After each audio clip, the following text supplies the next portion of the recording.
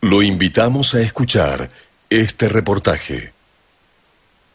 Hay que derogar la ley de alquileres porque no funcionó con este desastre económico. La ley fue pensada para otra economía. Esto es parte de un tuit que fue publicado ayer por Daniel Lipovetsky, hoy diputado provincial, ex diputado nacional, uno de los eh, impulsores de esta famosa ley de alquileres.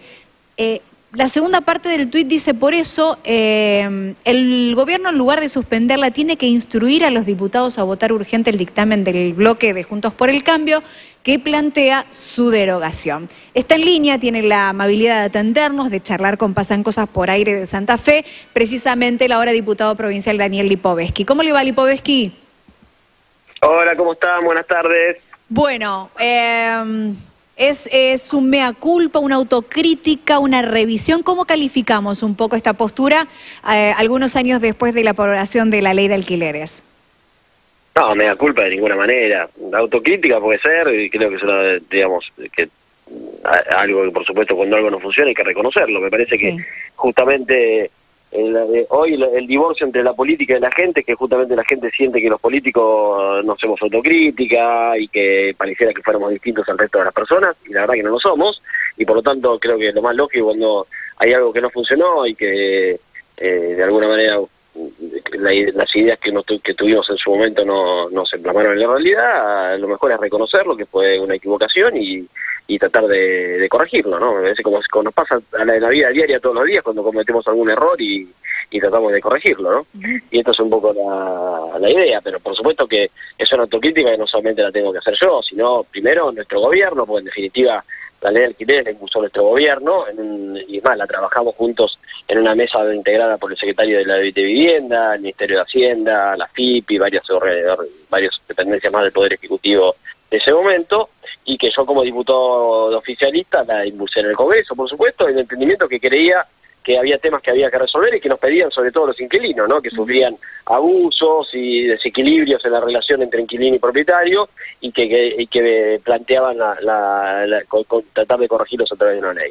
Y así lo hicimos, eh, y, los, y la mayoría de los diputados lo consiguieron también de esa misma manera, por algo la ley fue votada por 191 diputados y no tuvo votos en contra eh, porque realmente en el contexto de ese momento se pensaba que era una, una buena solución. Por supuesto que después de dos años y medio y con la situación económica que hoy vivimos, con una inflación descontrolada, con un gobierno que no da pie como con la economía y ni hace nada para poder resolverla, claramente la ley no funcionó y ni va a funcionar ninguna ley, ni esta ni ninguna otra vinculada con estos temas, porque por supuesto que hoy con el descalabro económico es muy difícil cualquier tipo de, de, alguna manera de norma que, tenga que ver con los alquileres, ¿no? Y en ese marco, bueno, lo mejor es reconocerlo y tratar de plantear algún, cambio, y es lo que pareciera que el gobierno ahora recién está tratando de reconocer, pero creo que el camino que está diciendo de, la, de, de una suspensión por DNU o por decreto, creo que no es el mejor, ¿no? ¿Cuál sería el camino, eh, diputado? Mira, nosotros el año pasado, nuestro bloque, Juntos por el Cambio, impulsó un dictamen justamente que planteaba esto, ¿no? Cambios en la ley, la derogación, eh, y, se, dictaminó en la Cámara de Diputados de la Nación eh, y, el oficialismo no, no, estuvo de acuerdo, el bloque oficialista, y por lo tanto ese dictamen no llegó nunca al recinto. Eh, por lo tanto, si ahora el gobierno reconoce que la ley tiene problemas que hay que cambiarla, lo mejor que podría hacer es distribuir el Poder Ejecutivo al bloque de diputados oficialistas del Frente de Todos, a que acompañe el dictamen de nuestro bloque de Junto por el Cambio y inmediatamente se con ese acompañamiento están los votos necesarios como para darle media sanción y después, por supuesto, eh, avanzar en el Senado. Si los dos bloques principales están de acuerdo, claramente no haber ningún inconveniente en, poder eh, sacar una ley eh, de derogación o de, o de, o de modificación en, un plazo muy cortito, ¿no? que es lo que supuestamente está buscando el gobierno, por eso está planteando la, la, de un decreto de necesidad y urgencia, porque está planteando que justamente el tema amerita una decisión urgente. ¿no? ¿El problema fue eh, pensar una ley para otra economía? ¿O cuál fue? no, no, nosotros pensamos una ley, eh, digamos, que, que, que corrigiera algunas situaciones que nos planteaban los inquilinos. La primera que nos planteaban era que que en ese momento cuando iban a firmar el contrato de alquiler, eh, los propietarios y las inmobiliarias se imponían aumentos semestrales la mayoría de las veces, y en algunos casos anuales y en otros trimestrales, con aumentos que iban por encima de la inflación. Entonces, en definitiva, el precio que ellos habían acordado en el momento final del contrato se les incrementaba más allá de la actualización por el costo de vida que tenía que tener. Entonces, ellos vinieron a plantear eh, la necesidad de una actualización y por eso la mayoría de los proyectos que se presentaron en ese momento en el Congreso, que fueron más de 10, y también uno que tuvo media sanción en el Senado, impulsado por el, Frente de Todos y que nuestro bloque en ese momento eh, votó en el 2016, todos planteaban un mecanismo de actualización para evitar esta este, e, esta incorrección que era eh, poner incrementos en los contratos por encima de la inflación. Y eso es lo que está, refleja la ley. Lo que pasa es que claramente en ese momento esa economía tenía una inflación del 20 o el 30% anual. Hoy estamos hablando de una economía con un 100% de inflación anual, por lo tanto, cuando se le aplica el índice de actualización que está establecido en la ley, los inquilinos ven que se incrementa su valor locativo en un 100%. como, como aumentan otras cosas, pero por supuesto que el golpe igual económico en el bolsillo es muy fuerte, ¿no? Eh, diputado, le hago la consulta porque claramente ahora hay que mirar para adelante si desde casi todos los ámbitos mm. o desde el bloque de ustedes están pidiendo la derogación. Supongamos que se llega a la derogación, la ley queda de lado. ¿Cuál es el camino a seguir? Porque volvemos a lo de antes, que tampoco funcionaba, porque hubo muchos reclamos de parte de los inquilinos, ahora hay reclamos también de parte de inquilinos y también de propietarios. ¿Cuál es eh, la idea que hay de aquí en adelante? Supongamos que la ley queda derogada, queda a un lado, la, la ley de alquileres pasa a, la historia. ¿Cómo se sigue después de esto? hay cosas que creo que hay que, hay que atenderlas, ¿no? Eh, por supuesto que yo creo que hay, hay que ir a un mecanismo de actualización que no sea anual, sino que sea trimestral. Hoy me parece que una inflación anual eh, eh, del 100% anual, casi de tres dígitos o de tres dígitos, requiere actualizaciones con plazos más cortos y quizá una actualización trimestral sea un buen mecanismo o de última semestral, como en su momento yo planteé, ¿no? Porque claramente cuando yo presenté el proyecto que elaboramos con el gobierno, la actualización era semestral y después en el debate parlamentario se pasó a que sea anual, no por iniciativa mía. Eh, por lo tanto, creo que es algo que, que hoy podría que pensarse, ¿no? Un, mecanismo de actualización por plazos más cortos. Y después, respecto al, plazo mínimo de locación, que nosotros extendimos de dos a tres años, eh, lo hicimos en el entendimiento que el dos años solamente para muchos inquilinos es muy corto, ¿no? Pensemos que vos accedes a la vivienda, mudas a toda tu familia y cuando al año ya estás pensando que si el propietario no te renueva, vos tenés que irte a otro lugar, incluso a veces hasta mudar a tus chicos de escuela si no conseguís un lugar cerca. Por lo tanto, tres años le da más estabilidad. Lo que pasa que en el medio, después la ley entró en vigencia en un contexto con un gobierno que decidió intervenir en el mercado de alquileres congelando los valores durante la pandemia, suspendiendo los desalojos. Después, eh, con una casi hiperinflación o una inflación altísima a lo que tenemos hoy, por lo tanto eso ha generado eh, una digamos, un temor por parte de los propietarios que ha desalentado la oferta. Entonces, eh, hoy eh, hablar de tres años parece un siglo para los propietarios y por lo tanto eh, volver al de los dos años quizás hasta que se normalice la economía sea un buen mecanismo. Después creo que hay que volver a debatir si el paso de dos o tres años es el correcto, pero me parece que hoy, en esta situación tan de tanta inestabilidad, hay que volver al plazo de dos años y después, por supuesto, si después de estas elecciones los argentinos se eligen un gobierno realmente que esté dispuesto a cambiar las cosas de la Argentina, que esperemos que sea el nuestro, eh, en algún momento habrá que volver a debatir estas cuestiones. ¿no? Bueno, eh, ahora el gobierno lo que plantea también es eh, la cuestión de compensación.